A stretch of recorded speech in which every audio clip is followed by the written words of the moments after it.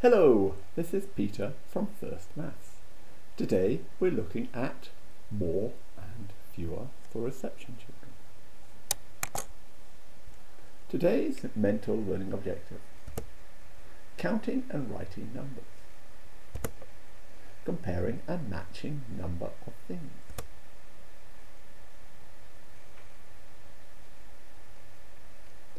Are there more dishes or more spoons? Let's count. Here are my dishes. One, two, three, four, five. And spoons? One, two, three, four.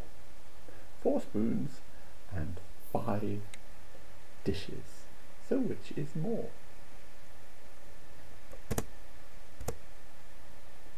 There are more dishes than spoons. There are less spoons than dishes. Can you write the number of dishes and spoons on the blackboard or whiteboard? Pause the video and write down the numbers. How many more spoons do we need so each plate has a spoon? Pause the video and work it out. Your teacher will now show you different sets of things. Which group has more? Which has less?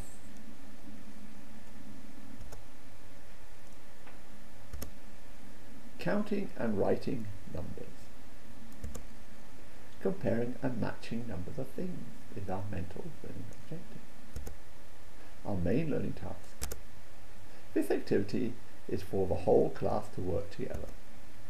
You need some cubes, a set of cards numbered 1 to 6 and a dice. Call out one of the children. Ask them to take a card from the pile. Read out the number.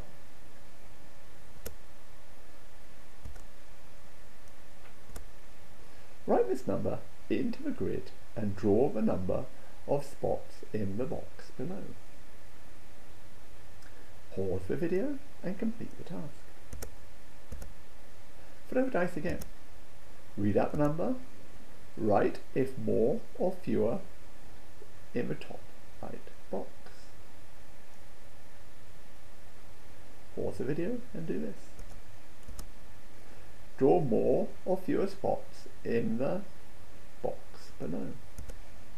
How many spots have you drawn? Pause the video and count. Now you try again with your teacher. Main learning objective. Counting and writing numbers. Comparing and matching numbers of things. Plenary. If I picked a 6 and the dice said more, how many cubes could I put in the other box? Pause the video and discuss with your teacher. What other number could I put there? Pause the video and ask your teacher. Thank you for watching. If you liked this video, please give it a like below. Please subscribe to my channel and also press the notification bell to be informed every time I upload a maths resource. I look forward to seeing you again soon. Bye!